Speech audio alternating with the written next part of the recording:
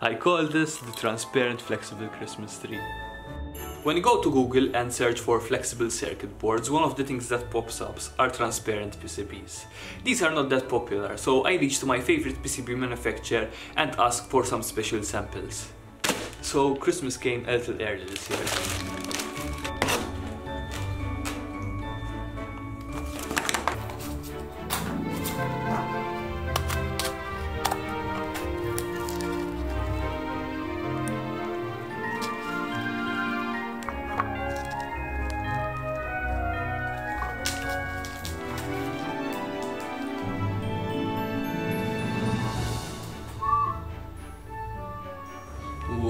I can literally see through it.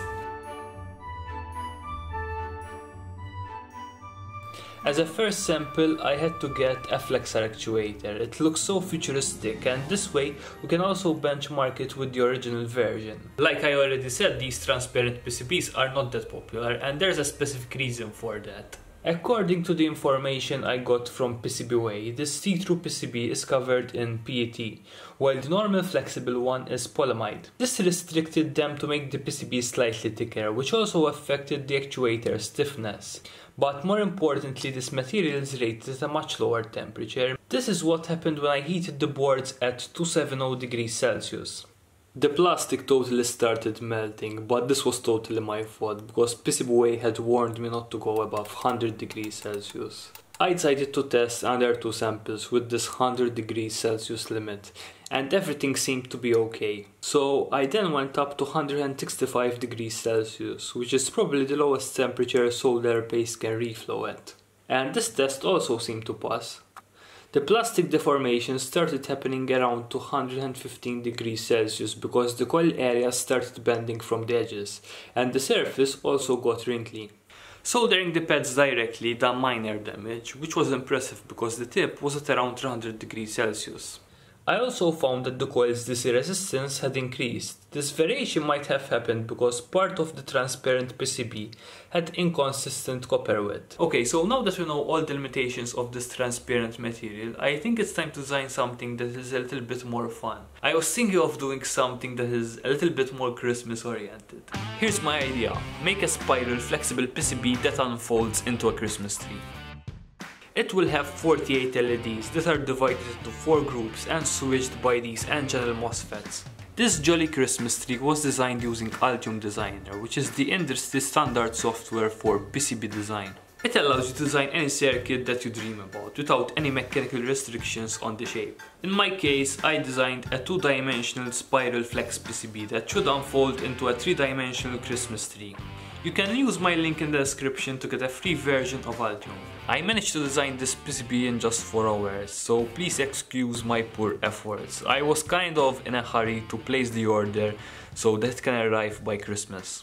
I also had to favor aesthetics over engineering. As you can see I didn't include any power planes or stiffeners. There's also some other bad practices like the single vias which will pass around 240 milliamps each. The single vias will still work for this prototype and keep our PCBC see-through, but if I had to design this professionally they must be connected to their own power planes and stitched to the second layer with some vias. So this is very bad engineering, but I wanted to get the utmost of this transparent material.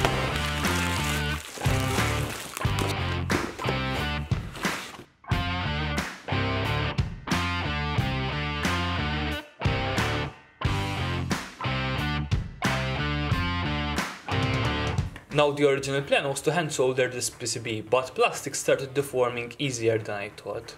Luckily, I received a sample of the low temperature solder paste, which made soldering this PCB possible. The only screw up was that I didn't get a stencil, which made things look messy.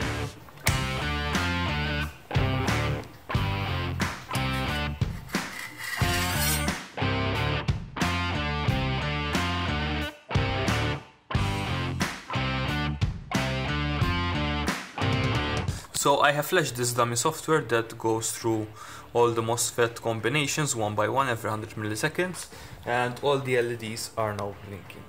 Here we have some orange, green, blue and red LEDs and one white LED at the top. As expected these are not switching with the same brightness but this makes for a nice Christmas tree look. Now let's see how it unfolds. Happy Christmas, I guess.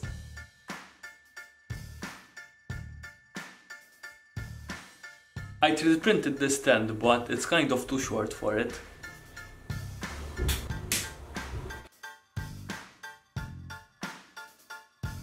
I think it would have been a little bit prettier if the base was a little bit wider, but it's still cool. If you enjoyed watching this project, please consider giving this video a thumbs up. It was really fun making this Christmas tree and who knows, maybe next Christmas we'll do a fully RGB addressable one.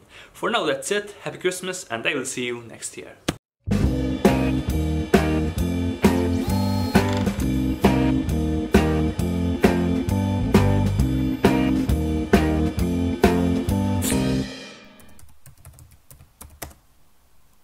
That is so freaking cool. I have to get some stretchable circuit samples.